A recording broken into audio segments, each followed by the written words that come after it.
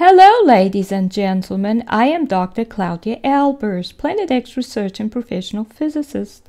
And today I'd like to bring to you another one of my articles. This one's entitled Sinkholes Appear When Gravity is Repulsive. Now, in Article 563 entitled Planet X Creating Sinkholes All Over the World, I show that sinkholes are caused by Planet X objects, the dead cores of dead planets and stars, which are therefore extremely depleted in gravitational photon energy. The sinkholes form as a result of that gravitational influence being repulsive. And here you see a small, perfectly circular sinkhole which opened up in this woman's bedroom in Guatemala City in July of 2011. You can see, especially in this one, uh, that the hole is very small. So the above sinkhole is very deep in comparison with the diameter, which suggests that the force was extremely repulsive, but affected a very small region. Also, the force affects only a small piece of ground on the Earth's surface, which suggests it has a very low range of influence. There is no force between the object and any other part of the Earth, around the hole, or any matter deeper within the Earth. This suggests that the range as well as the strength of the gravitational force is dependent on the gravitational energy of the object interacting with the Earth. The gravitational constant determines the strength of the interaction, but now it seems that it determines more than that. Low gravitational energy causes the region being affected to be very narrow in extent, and it also causes the range to be very small, so that only a thin slice of Earth close to the surface is affected. And you may look at Article 210 entitled Stellar Gravity Tidal, and G is not constant. Now we can see that the gravitational force can be both attractive and repulsive from the fact that the moon's tidal force, which gives rise to ocean tides, is both attractive and repulsive at the same time because it produces both high and low tides, not just high tides.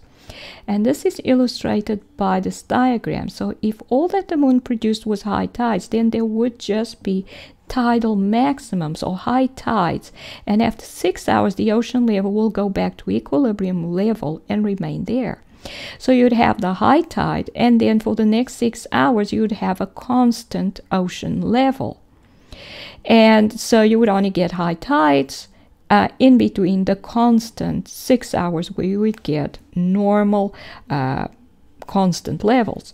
But we do not get that. Instead of that, we get ocean level minimums or low tides. In other words, the tide gets lower and lower and lower until it gets to a minimum. Which means that this is not the equilibrium position. The equilibrium position is somewhere in the middle so this shows that the ocean level is changing between a maximum and a minimum and going through an equilibrium level in between. So in other words, uh, the gravitational influence of the moon is attractive when we're in the high tide region, but it's repulsive when we are in the low tide region. So it's both attractive and repulsive. Also, since vortices always have a hole in the center, gravity either exerts no force or is repulsive at the center of vortices, again showing that sharply differential gravitational forces, in other words, tidal forces, have regions of attraction as well as repulsion. But even gravitational forces, which are not tidal in nature, will have regions of attraction and repulsion, because the gravitational attraction of a celestial object gives rise to quantized orbitals. And you may look at Article 558 entitled Astronomical Quantum Mechanics, Gravitational Potential and Orbitals. In other words, it gives rise to regions where an object of a certain gravitational potential is attracted by the object it is orbiting and regions where it is repelled.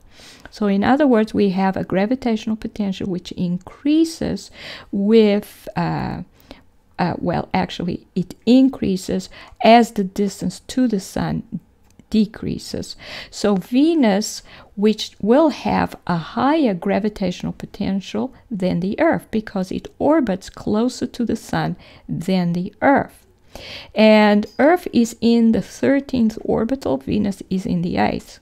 Then, if Venus's orbit was perturbed so that it moved closer to the Sun, it would get into a region for which it does not have sufficient gravitational potential and would thus be repelled away from the Sun. So, if Venus moves closer to the Sun, it will be repelled by the Sun because it doesn't have enough gravitational potential to orbit as close to the Sun as that.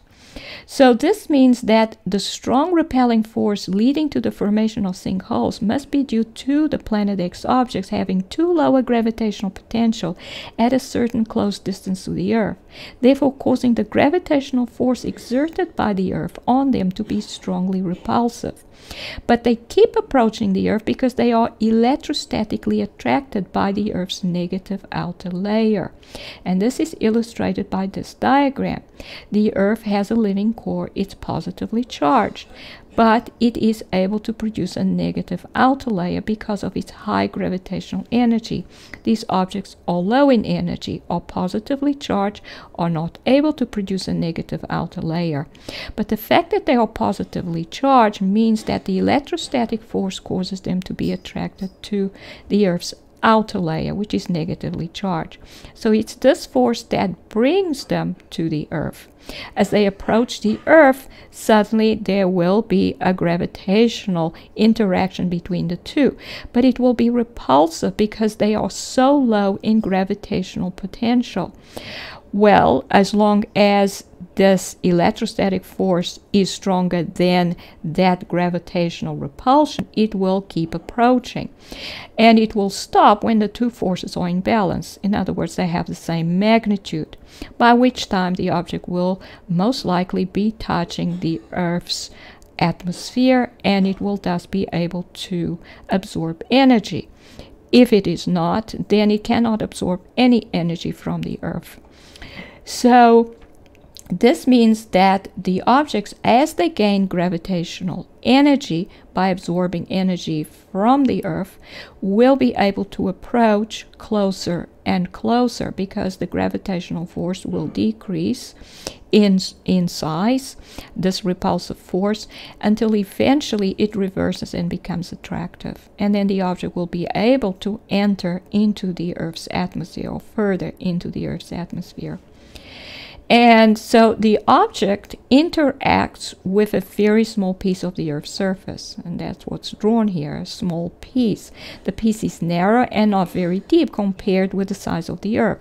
The more energy depleted the object, the smaller the size of the ground piece is likely to be in radius. It would tend to be longer in relation to radius when the object is most depleted because the repulsive force is stronger. And then this diagram illustrates the forces that we have on the object and on the piece of ground that is interacting with it gravitationally. And this is the electrostatic force that causes the object to approach the Earth. This then is the gravitational force, which is repulsive, pushes it away, which is the force exerted by this piece of the Earth's uh, material, the Earth's surface, that causes the object to be repelled. It causes that repulsive force.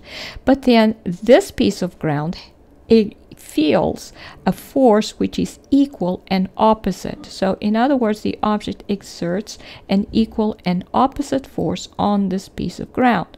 So, because of this repulsive interaction, this piece of ground now has a repulsive force acting on it, which pulls it towards the center of the earth.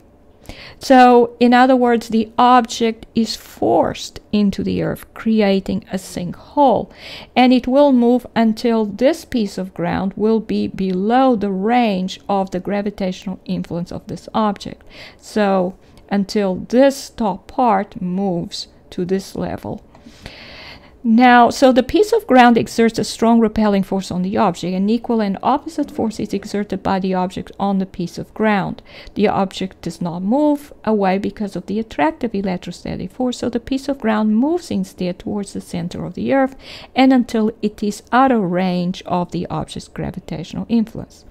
As the object gains gravitational influence, the force will become re less repelling, and the radius of the cylindrical piece would increase whilst the length would decrease in relation to the radius, causing larger diameter but shallower looking holes.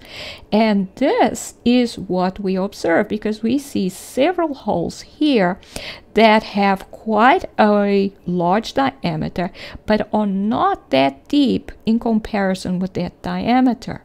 So these are examples of circular sinkholes of various sizes but with more gently sloping sides, most likely because the Planet X objects that caused them uh, were still low enough in gravitational energy that the Earth's surface repelled them, but not as low that they, as they initially were, and therefore did not cause uh, such deep and narrow um, sinkholes as before. So the objects will absorb electrons through the outer cloud envelope, causing the number of electrons in the atmosphere to drop, which will in turn cause the electrostatic attraction that brought them in to drop, which will cause them to move away from the Earth. Once the atmosphere recovers through the Earth replenishing the lost electrons, the object would come back. So they will move away and approach several times until they have gained enough energy for the gravitational force exerted by the Earth on them to become attractive. They will then enter deep into the atmosphere and most likely remain inside the Earth's atmosphere until they have obtained enough energy to produce their own outer negative layer or they are ejected as a result of a matter creation event by the Earth's core causing a volcanic eruption. You may look at Article 501 for more details on that. And here you see illustrated what seems to occur as the objects gain gravitational energy. So each time they approach and they will most likely gain some gravitational energy. If they are able to reach the Earth's atmosphere, they will gain some gravitational energy. They will then cause the Earth's atmosphere to become uh, uh, to lose electrons, and so they will move away because this gravitational uh, force will become too strong for the electrostatic interaction. But then they will come back once the Earth's atmosphere is replenished uh, by the Earth's core. Uh, so as it gains more electrons, then the object will be attracted, electrostatically attracted towards the atmosphere again, but this time it will have more gravitational energy because of the energy it absorbed the last time. So the first time when it's a new arrival, it will most likely um, exert a force on a very small radius uh, cylindrical piece of uh, the Earth's surface a very narrow piece, the repelling force will be very strong, so it will most likely be a very uh, long piece of ground and it will be pushed down and create a sinkhole which is narrow and deep. The next time the object returns, it has more gravitational energy, and so the diameter of the surface uh, piece that it exerts a force upon is not as narrow. So the diameter is larger and the length of the piece will most likely not be as long because now the gravitational force is not as repulsive.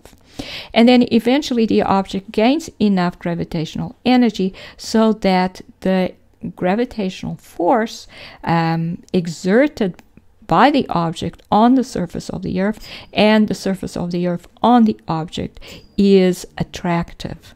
So now the two will be attracted. So what causes the object not to impact the surface is the fact that it's now repelled by the Earth's positive core. So, an electrostatic repulsive force now has its effect on the object. So, in conclusion, the circular shape of sinkholes indicates that their formation is due to the gravitational force exerted by a Planet X object approaching the Earth and due to the fact that the gravitational force exerted by the surface of the Earth on the objects is initially strongly repulsive and of very short range due to their very low gravitational energy. And these are the references. This is Dr. Claudia Albers, Planet X physicist. Thank you for watching.